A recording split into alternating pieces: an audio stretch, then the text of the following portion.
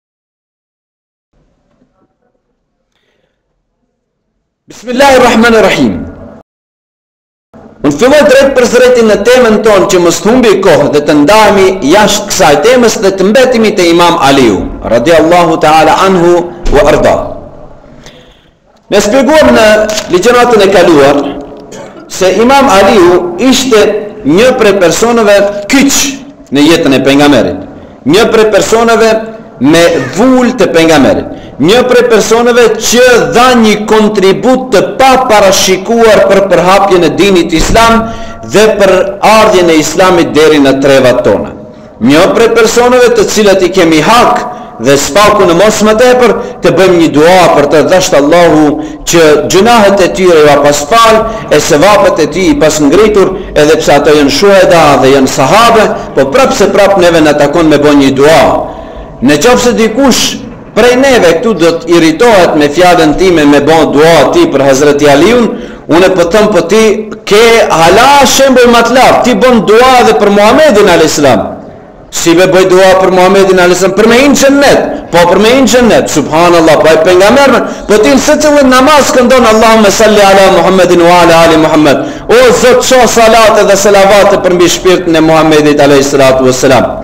E çka kjo çon salatin?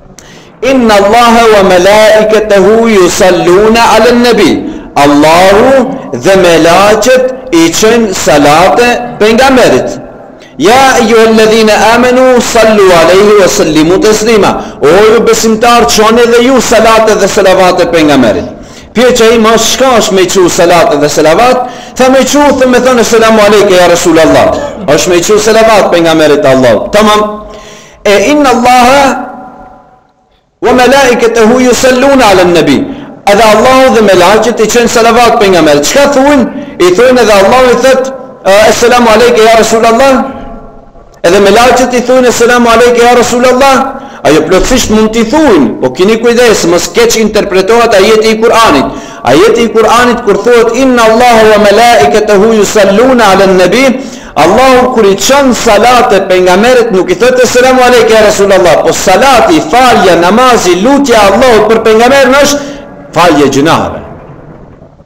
E lutja e melekëve për pejgamberin është duaja e tyre o Zot, shpëtoje kët. E salavatet e njerëzve për pejgamberin është krahas salatit direkt dhe salavatit direkt që i thojmë selamu alejke ja Resulallah është edhe lutje Çka qenka e, kur i çojmë na salavat pejgamberit, e lutim Allahun për pejgamberin Allahu ta shpëtoj. Pra, mbasi neve na ipka mundësia për me lut Allahun për pejgamberin me shpëtu dhe në secilin namaz ti këndon kështu, atëherë na jepet mundësia me çu salavate gjithsesi dua edhe sahabeve, me u lut edhe për Ebu Bekrin, me u lut edhe për Omerin, me u lut edhe për krejt sahabët të tjerë. Imam Aliu të ndershëm vëllezër na dha një kontribut të paparashikuar në çështjen e luftën e Bedrit. Dhe ishte njëri prej tre personave i cili doli për dyluftim. Krahas Hamzës dhe krahas Ebu Ubejdës ishte po ashtu edhe Aliu. Dhe ishte një prej personave i cili ishte në moshë të re shumë, në moshën 25 vjeçare. Dhe një prej personave që kur dilte përpara për me udhëhequr ushtrinë, motivoheshte krejt ushtria për këtë rini që kishin. Dhe kështu që vazhdon edhe ma tutje. Ebu Ubejde, radiallahu anhu, të nderuar, Kini kujdes mos përzieni me Ebu Ubejde ibn Xherrah, që pejgamberi i Allahut e ka titulluar një prej 10 personave që shkon për në xhennet drejt për drejti. Ne flasim këtu për Ebu Ubejde ibn Harith ibn Abdul Muttalib, për mixhën e pejgamberit të Allahut. Dhe ky Ebu Ubejde, njëri prej personave që ishte në dyluftim në në Bedër, Ky u lëndua, kurse Hazreti Hamza dhe Aliu jo. Dhe është interesante se këtë e mbartën Ebu Ubejden prapë dhe e kthejnë te Pejgamberi i Allahut në luftën e Bedrit. Dhe kur e kur e kthejnë të lënduar kështu, edhe ai ishte në gjendje të vdekjes. Dhe i tha Pejgamberit të Allahut: "A ente radin anni ja Rasulallah?" O pejgamberi i Allahut, a je i kënaqur ti, a je razi me mu? Unë jam tu vdek, jam tu e dhon uh, ymrin tim dhe shpirtin tim, po du veç diçka me ditë, a je ti razi me mu? Se ti më the, o Ebu Ubejde, dil në dyluftim edhe unë dola, nuk, nuk, nuk, nuk, nuk bisedojmë për atë çështje, a je razi me mu? Fe beka er Resul sallallahu alejhi ve sellem wa refa'a yedejhi wa qal, filloi qajë pejgamberi i Allahut kur e pa në gjendje të vdekjes mixhën e tij nga dyluftimi, i ngriti duart përpara Allahut dhe njerëzve krejt dhe tha, Allahumme inni eshhedu inni radin an Ebi Ubejda, O Zot, unë po të jap tash dëshminë time, Dhe shehadetin tem se unë jam razi me këtë njeri dhe kam kon i knaqt për këtë njeri që ka kon në mesin e rreshteve të mia. Allahu dhe pejgamberi i tij qoftë razi dhe me ne inshallah. Kush ishte mbartës i flamurit në luftën e Bedrit? Dhe ju e dini mirë se mbartësi i flamurit është ai që bjen n'sy në luftë. Kur hyhet në luftë në dyluftime me shpata dhe kështu me radhë sikur luftërat e atëhershme, janë përzi krejt kush ka luftu e kush s'ka luftu, mirëpo ai i cili e mban flamurin ai bjen n'sy prej krejt anëve dhe ai duhet me kon ma trimi për shkak se ai sulmohet non stop për me u plandos flamuri. Edhe ai i cili mbante flamurin në moshë njëzet e pesë vjeçare ishte Aliu radiallahu anhu. Dhe ai i cili tregoi këtë trimëri që ju tregova herën e kaluar, në fuqinë të cilën kishte ai në dorë, u habitshin edhe sahabët me të. Tha, me bo me ta kap krahun me dorë, këtu t'u ndalte fryma, s'e merrshe frymë prej shtrëngimit të fuqishëm që kishte ky i ri në këtë moshë. A thu vallë çfarë mishi paskan hëngër ata? A thu vallë çfarë dreke dhe darka paskan hëngër. Pejgamberi i Allahut i se pa njëherë Imam Aliun tu hangër drekë dhe ngjinte bukën njëherë në ufull edhe njëherë në vaj edhe e hante. Edhe i tha Pejgamberi i Allahut mashallah o Ali për ty ke mri për me hëngër një ushqim me dy jemeke, me hëngër drekën me dy jemeke. A s'ka mundësi njërën ta hash e tjetrën t'ja japësh një fukarasë? Bukën e ngjinte në vaj, edhe e ngjinte në ufull, edhe e hante, pejgamberi tha me dy jemeke je tu hangër bukën. O ja Resulallah, ec te ne njëherë ta shohësh sa jemeke janë. Të shohë se çka janë jemeke.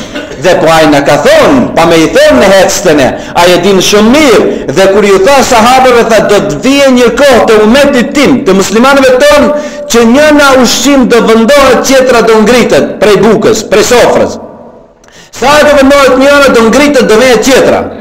Ata i thanë, subhanallah, jarë, qatë shumë do të kenë, tha është bollëku dhe bereqeti i madhë. Tha, alhamdulillah, jarë, shyqyr që do të kenë, sa ta sa shumë kanë, qatë më shumë do japin. Tha, jo, tha, kjo është problemi.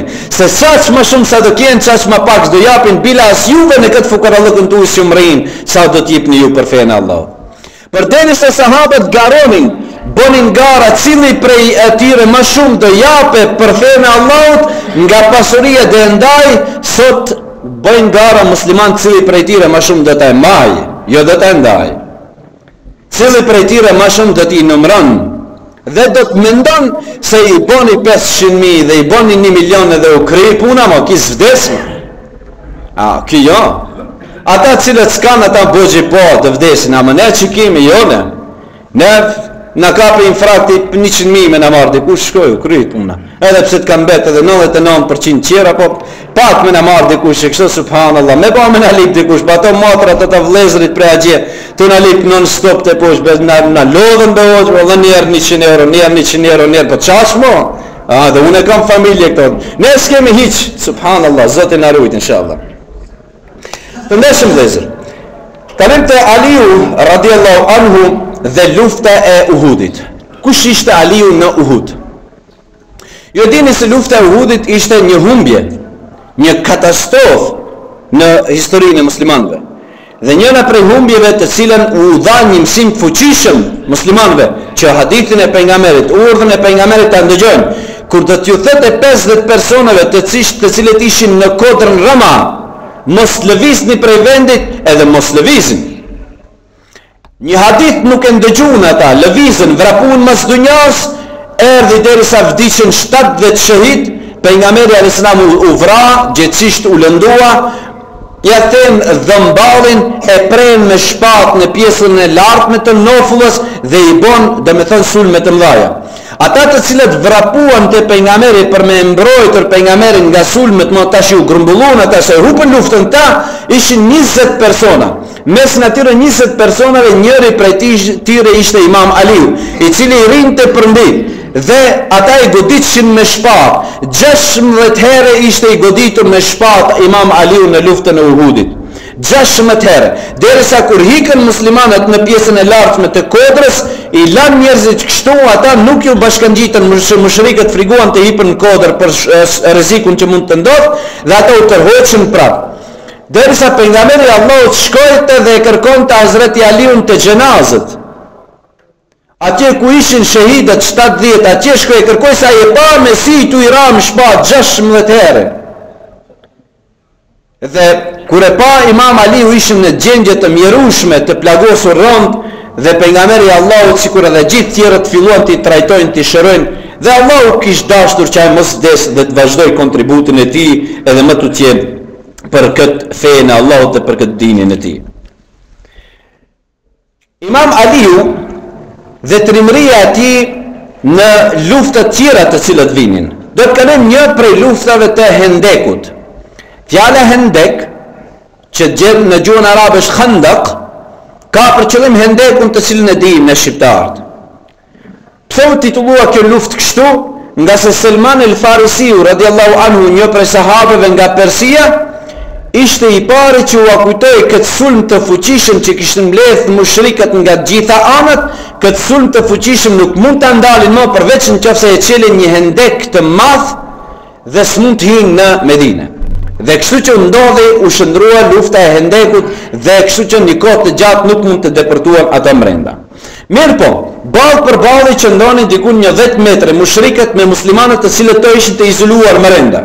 Pejgamberi i Allahut ju jepte motivim dhe i thonte, sot më erdh Xhibrili dhe më tha se juve jua dha çelësat e Persisë, do t'ju çelet juve Persia. Ata s'lëvizshin prej vendi, dikush prej tyre s'kishte mundësi të dalë pak më lart të të kryjë një nevojë, pejgamberi i thonte mos u mërzitni o njerëz, o nëse jemi të rrethum dhe të izolum, sot më erdhi lajmi se çelësat e Persisë ju dhanë n'dorë, së shpejti do ta merrni Persinë. Munafikët që ishin mrenda në këto ushtrin, mrenda në, në, në pjesën e, e muslimanve, i thonin, ne s'un shkojm të kryjmë një nevojë, ky na thotë neve do të shkoni n'Persi, do t'i merrni çelësat e Persisë. Pejgamberi i Allahut thotë, bash po më vjen lajmi se do t'i merrni edhe çelësat e Syrisë dhe Damaskus, që ishin qytetet të civilizuara atëherë për këta njerëz. Të thush subhanallah. Përpara rrinin mushrikët dhe i provokonin non stop, Dhe s'kishte kush deri derisa humbi motivimi i tepërt. Në këtë situatë, ndershëm vëllezër, vjen Amr ibn Wud, Amr ibn Wuddi, i cili ishte një prej mushrikëve shumë të fuqishëm. Dhe thuhet që në cilën luftë ka hi ai përpara se me vra me dhjetra dhe me dhjetra nuk ka dalë prej lufte. Amr ibn Wuddi afrohet hendekut afër dhe i sheh muslimanët ballë për ballë.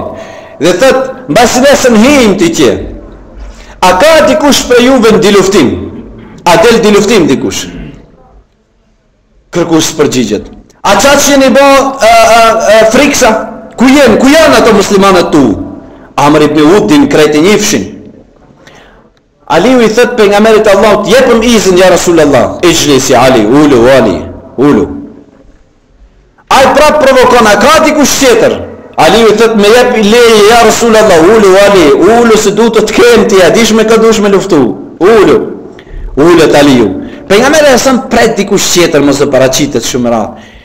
Problem është guximin ta marrësh atij përpara sikur thamë ligjëratën e kaluar, problemi më i madh është se ushtria jote shef se ti je duke vdek edhe bie motivimi hala më poshtë. Imam Aliu thotë ja Resulallah jepëm izin t'i dal këtij njeriut. Zbrecën të dytë në hendekun poshtë.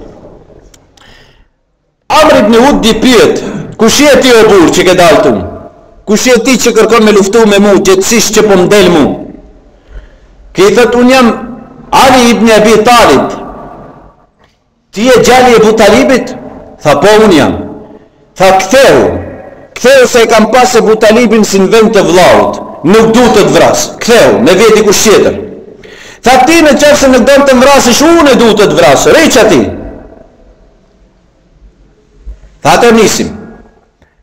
Ky ia bën edhe njëherë, o Amr, po t'jap kushtin e islamit, ose pranoje islamin, dhe hin në xhennet dhe largohu zjarmit, ose vdis ktu përpara syve të ushtrisë tënde.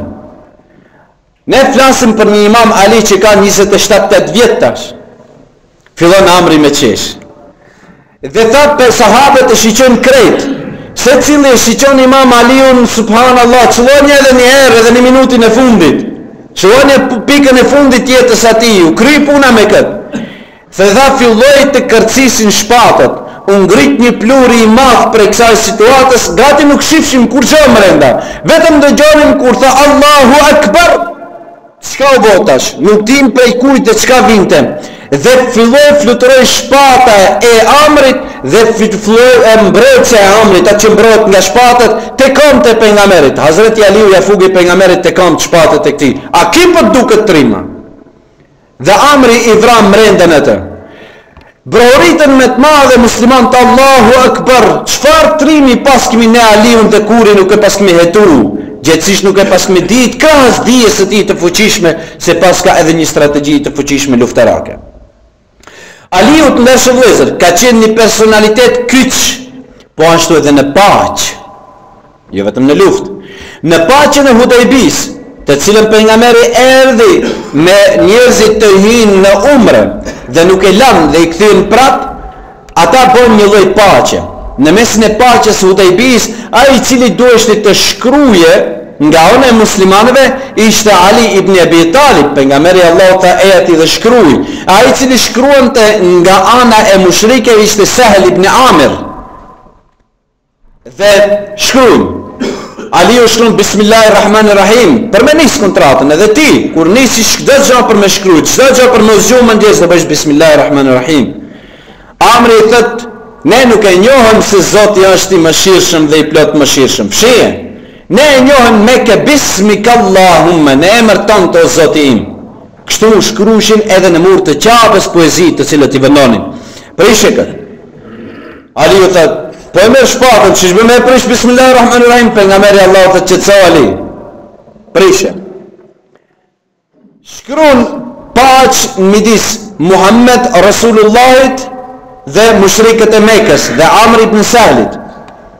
Ai thotë, Prishe o Ali!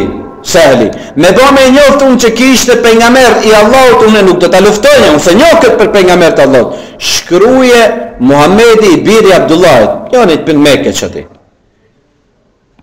Aliu i thotë, Ja Resulullah, vallahi këtë s'e shkruaj unë. Thotë shkruje Ali.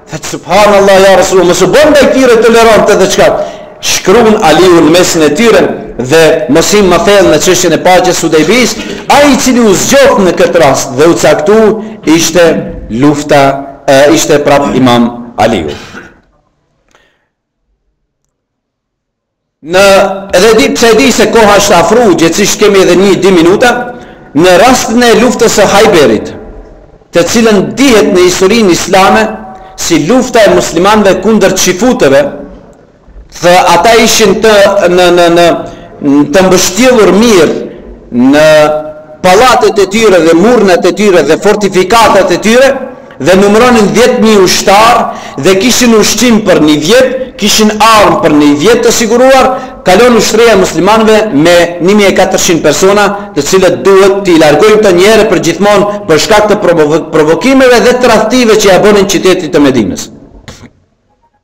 Në këtë moment ndershëm vëllezër 14 ditë deri 15 ditë tentonshin muslimanët ta thejnë derën për me i ati së patë shënd. Dy javë. Rrinë dy javë ushtarët muslimanë në, në shkretirë për me hi aty nuk kanë shans. Ra motivimi i njerëzve, e lamë, s'bon më, s'hijmë. Pengamerit e Allahut i kapin një kokëdhimbje të fuqishme ditën e pesëmbëdhjetë, dhe kjo kokëdhimbje thuan transmetuesit që i erdhi prej shpatës së Uhudit, që e goditi në krye, dhe nuk mund të të dale jashtë shatores së tij. Dhe i tha Ebu Bekrit, Ebu Bekër, udhëheqe ushtrinë, shko çliroje këtë vend, gjegjësisht depërtoni te Hajberi. E mori Ebu Bekri ushtrinë, shkoi aty, u kthi prapë tha ja Resulullah s'un hinëm. Nesrit i tha Omerit, Omer merre ushtrinë dhe shko çliroje këtë. U kthi në mbramje ja Resulullah s'kishim shans. Tha vallahi nesër Allahu do ta caktojë njërin prej juve, i cili do ta çlirojë Hajberin. E ai person e don Allahun dhe pejgamberin dhe Allahu dhe pejgamberi e duan atë shumë. Shkoni pushoni tash.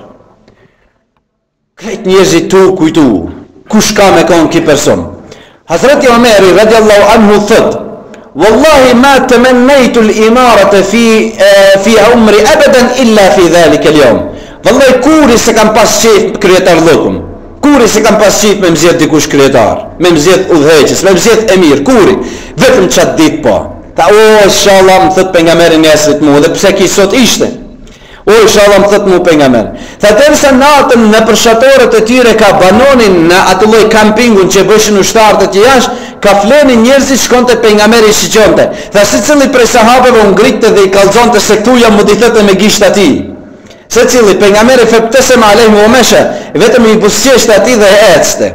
Në namaz të sabahut thirret sabahu falin sabahun dhe thet ku është flamuri? Ja bien flamurin. Tha, Ejne Ali ibn Ebi Talib, ku është imam Aliu? Thanë, Ja Rasulullah, jeshteki min ajni, ka vunë prej syrit, syri i dhem shumë. Aj s'mundet, caktoje dikon tjetër. Tha, ku është aj? Tha, është në shatore, bjene këndej. Ja prun imam Aliun, tha ma bike ja Ali, çka ke? Tha, ja Rasulullah, aq shumë m'dhem syri, sa që ma mshel krejt, nuk shoh hiç. E shtriu në prehrin e tij, i fryu dorës së tij dhe ia fërkonte syrin. Imam Aliu tha, Vallahi, kur e largoi pengameri të fërkuarit të tij, nuk e disha cili sy m'dhimte, i gjathti a i, m'dhim, i, i majti, s'e di cili m'ka dhimbt. Dhe i tha Ali, merre flamurin dhe shko çliroje këtë vend. Dhe po të them edhe diçka tjetër. Dhe po të them edhe diçka tjetër. Li en la in yahdi Allahu bika rajulan wahidan khayran laka min humr an-na'am. Në qoftë se Allahu një njeri do ta shtie në islam përmes teje, është ma e mirë se ti gjithë lloj begatia që Allahu e ka dhanë të kuqe, gjithçka të mirësinë që Allahu e ka dhënë. Ma e mirë se ti gjithçka ka dunjaja, krejt. Pejgamberi i Allahut me dorën e tij e fërkoi plagët e Halid ibn Velidit në luftën e Mu'tes, në qoftë se je tu ndjek në ligjërata. Pejgamberi i Allahut ja fërkoi këmbët Ali ibn Abi Talibit në kur kaloi prej Mekës në Medinë që vrapoi ta mrrije pejgamberin në këmbë 420-30 kilometër, derisa i kishin ra thonjtë e këmbës prej të ecmës. Pejgamberi i Allahut tash po ja fërkon syrin. Pejgamberi i Allahut ka me na dhënë edhe neve diçka me dorë. O lum për këtë dorë të këtij Resulullahit.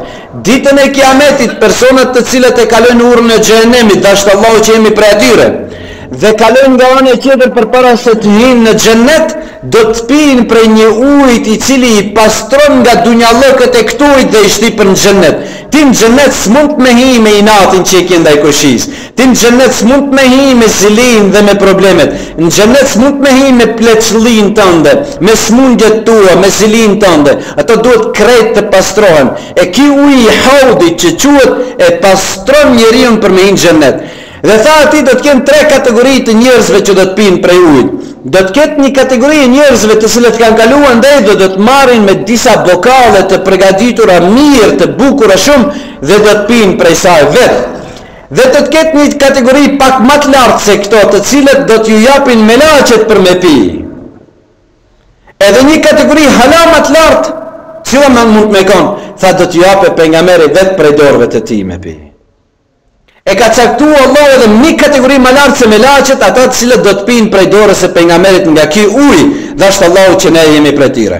Po, i ndershëm vlla, përpara se të përfundoj, nëqofse don të pish prej dorës së Pejgamberit, nëqofse don që syrin Pejgamberi ta fërkon dhe shëron, nëqofse don që plagët Pejgamberi t'i fërkon dhe i shëron, duhet me ba diçka për atë. Duhet me i hangër gjashtëmbëdhjetë plagë në shpinë ai atje për me e fërku. Edhe ai nuk e ka ditë se nuk vdes. Duhet me hec prej Mekës në Medinë në kom, atje që me t'i fërku pejgamberi këta kom. Dhe në qoftë se don edhe ti për me pi prej këtyre duarve të pejgamberit që dhashtë Allahu inshallah ti unë dhe muslimanët krejt inshallah pim prej tyre, duhet me bë një vepër të madhe ngase je tu pi prej dorëve të një njeriu të madh. E çka o kjo vepra jote e madhe ti e din. Mos mendo se do pish një një një një bardak ujë prej pejgamberit Allahut se ki dhënë njënit një 10 euro atje. Dish ku mbet çati këso atë. Derisa ajo ti nuk ka gjek në zemër, ajo s'ka mrin në kategorinë e lartë. Ajo që gjek në zemër mrin prej kategorive të rrota të larta që thot Allahu xhaleshanhu len tanalu al birra hatta tunfiqu mimma tuhibbun.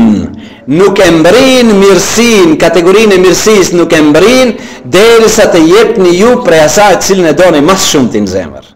Që ajo e cila më së shumti doç, a këtu doç, e jep atë që doç, ajo mbrijnë në kategori.